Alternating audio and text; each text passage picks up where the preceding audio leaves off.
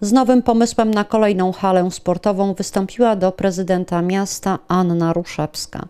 Radna, która kilka dni temu zmieniła barwy klubowe, odchodząc z prezydenckiego ugrupowania Łączą Nas Suwałki i wiążąc się z nową formacją Suwałki Przyszłości, przedłożyła włodarzowi Suwałk interpelację, w której uwadze Czesława Rękiewicza poleca nowy, planowany program rządowy. Pozyskane z niego środki miałyby rozwiązać problem braku sportowego obiektu przy szkole podstawowej nr 6. Jak pamiętamy, miała tam stanąć hala pneumatyczna finansowana ze środków budżetu obywatelskiego. Liczne przeszkody sprawiły, że obiekt się nie pojawił na przyszkolnym terenie przez kolejne lata i raczej już go tam nie zobaczymy. Jak zauważa Anna Ruszewska, w niedługim czasie ma wystartować nowy rządowy program budowy tysiąca przyszkolnych hal sportowych na stulecie pierwszych występów reprezentacji Polski na Igrzyskach Olimpijskich, który ma być wdrażany w latach 2023-2024. Zasadnym jest rozważenie, czy zamiast powyższej inwestycji lepiej skupić się na przygotowaniu wniosku i ubieganiu się o środki finansowe z powyższego programu, który zapewni budowę trwałej hali.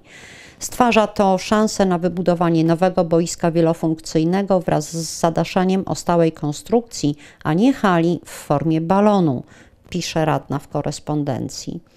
Na jej propozycję pojawiła się dość szybko odpowiedź prezydenta, z której wyłania się tym razem odrobina sceptycyzmu. Rozważenie możliwości przygotowania i złożenia do Ministerstwa Sportu i Turystyki wniosku o dofinansowanie budowy hali sportowej przy Szkole Podstawowej nr 6 w Suwałkach nastąpi po ogłoszeniu naboru wniosków w ramach rządowej inicjatywy.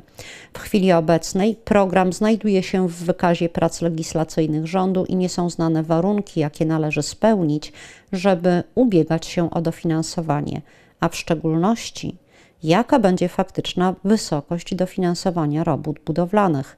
Odpowiada Czesław Rękiewicz. Dodaje również, że w ubiegłych latach miasto rokrocznie składało wnioski o finansowanie sportowej infrastruktury w mieście. Podkreśla też, że możliwe dofinansowanie mogło wynosić zaledwie 33% kosztów kwalifikowanych.